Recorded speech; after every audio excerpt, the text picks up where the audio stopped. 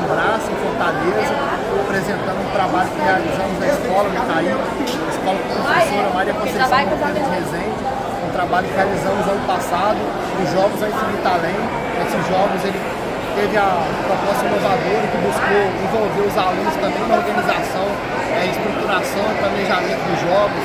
Durante a semana dos jogos eles puderam também é, ajudar na organização geral, na mídia, na arbitragem dos jogos, então colocou o estudante em protagonismo. Os jogos aconteceram de agosto a outubro de 2022.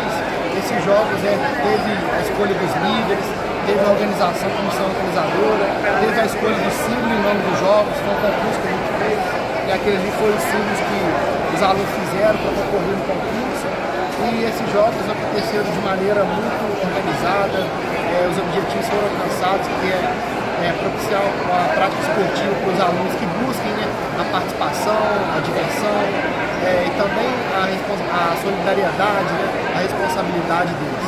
Então é isso aí, é, mostrar para vocês aqui um pouco do nosso trabalho, do nosso banner e obrigado pela atenção.